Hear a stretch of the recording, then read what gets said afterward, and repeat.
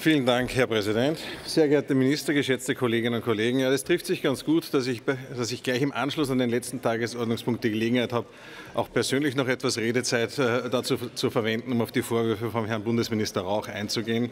Wir wissen Sie, Herr Bundesminister, was uns unterscheidet. Ich arbeite seit mehr als eineinhalb Jahrzehnten in der Gesundheitsbranche als selbstständiger Apotheker und als Pharmagroßhändler. Ich bin jeden Tag in Kontakt mit Menschen, die Probleme im Gesundheitssystem erst aus erster Hand erleben. Sie haben nicht einmal eineinhalb, ein Dreiviertel Jahre jetzt, äh, Erfahrung im Gesundheitsbereich, werden nach dieser Periode in die Pension verschwinden und ich werde mich weitere Jahrzehnte für die Sorgen und Wünsche der Menschen einsetzen und versuchen, das österreichische Gesundheitssystem zu einem besseren zu machen. Und wenn Sie meine, meine Vorschläge genau durchgelesen hätten dann wüssten Sie, dass ja in vielen Zielen, die Sie proklamiert haben, wir durchaus einer Meinung sind, dass nur der Weg, den Sie hier beschreiten, ein falscher ist.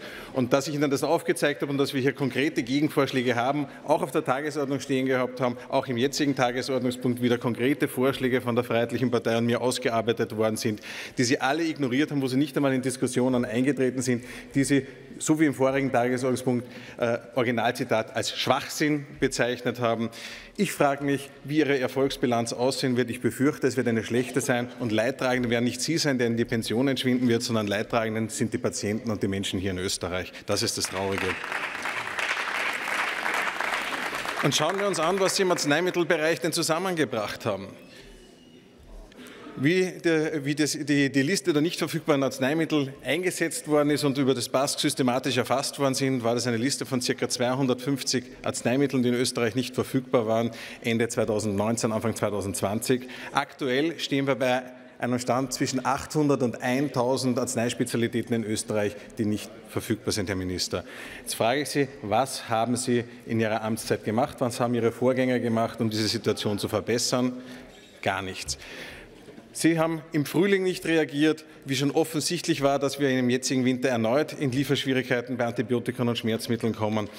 Wir haben die Vorschläge schon äh, Ende Frühling in den Gesundheitsausschuss eingebracht. Sie haben nichts gemacht. Jetzt kommen Sie mit einem Vorschlag zur Wirkstoffbevorratung und einer Kostenabdeckung. Dafür ich frage Sie, für wie viele der knapp 1000 nicht lieferbaren Arzneispezialitäten haben Sie denn Wirkstoffe besorgt und eingelagert, dass hier die Versorgung sichergestellt werden kann?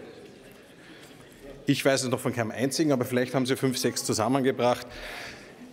Ich möchte Ihnen allen ja nur aufzeigen, dass das, was hier verkündet wird an Maßnahmen, Finanzierung der Sicherstellung der Arzneimittelversorgung schlicht und ergreifend nicht stattfindet.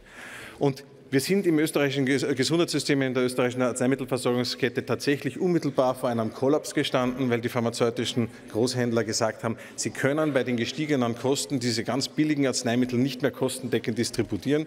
Äh, und wenn es da nicht eine finanzielle Entschädigung gibt, eine Anpassung der Spannen, dann werden sie diese äh, Arzneimittel aussortieren. Und da sprechen wir bitte von Massenversorgung. Da sprechen wir eben von Schmerzmitteln, von Antibiotika, von Blutdruckmitteln, von Diabetikern und, und, und das, was die gesamte Bevölkerung braucht. Und jetzt kommen Sie mit einem Vorschlag daher, wo Sie auf quartalsweisen Antrag der Großhändler eine, einen Bagatellbetrag sozusagen bereit sind zu zahlen, mit einem riesigen bürokratischen Aufwand und dem Risiko der Rückerstattung, mordskomplizierter Abrechnung, anstatt dass sie das Grundproblem bei der Wurzel packen und eine nachhaltige Lösung schaffen, nämlich eine Überarbeitung des Spannensystems bzw. die Einführung einer Grundpauschale für die Distribution, damit die Versorgung mit Arzneimitteln in Österreich wieder gesichert ist. Und das braucht es übrigens nicht nur beim pharmazeutischen Großhandel, das braucht es auch bei den öffentlichen Apotheken, weil dort ist der gesamte äh, Kassenbereich defizitär. Wenn Sie mit den Vertretern der Ärztekammer reden, dann würden Sie, Ihnen, würden Sie Ihnen die Daten vorlegen, dann sehen Sie das schwarz auf weiß. Das ist nicht an den Haaren herbeigezaubert, das ist kein Lobbyismus, das ist schlicht und ergreifend wirtschaftliche Realität. Wenn die Erstattungspreise gesetzlich geregelt sind und nicht angepasst werden und die Inflation galoppiert und alle Kosten explodieren, dann geht sich das irgendwann mal nicht mehr aus und dieser Zeitpunkt ist nicht nur erreicht, dieser Zeitpunkt ist überschritten. Wer nicht handelt, das sind Sie, Herr Minister. Und das ist das Traurige. Sie riskieren die Gesundheit der Menschen in diesem Land, auch bei der Arzneimittelversorgung. Besser wird es wohl erst, wenn Sie gegangen sind. Auf das werden wir auch noch erwarten. Vielen Dank. Am Wort ist der Abgeordnete Ralf Schallmeiner. Bitte, Herr Abgeordneter.